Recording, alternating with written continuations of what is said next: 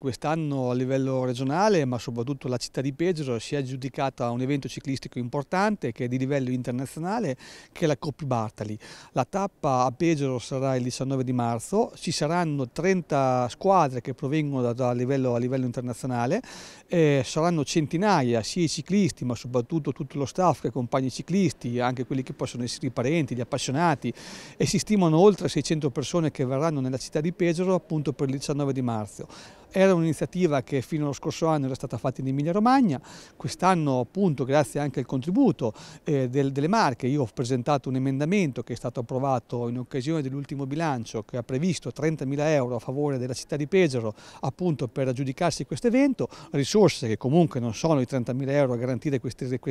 evento ma una buona parte di queste risorse vengono messe a disposizione direttamente anche dal comune di Pesaro, un evento internazionale che ci, che ci auguriamo possa essere fatto oltre a quest'anno anche i prossimi anni nel nostro territorio. Un'occasione per valorizzare innanzitutto tutto il lavoro fatto nel corso degli anni, cioè legato alla bicicpolitana, che ha fatto sì che i cittadini pesaresi eh, abbiano preso l'abitudine a utilizzare la bicicletta negli spostamenti, ma questo progetto della bicicpolitana che ha aumentato anche le persone che amano la bicicletta dal punto di vista sportivo, quindi che fanno ciclismo, che fanno cicloturismo, avere iniziative come queste è sicuramente molto importante.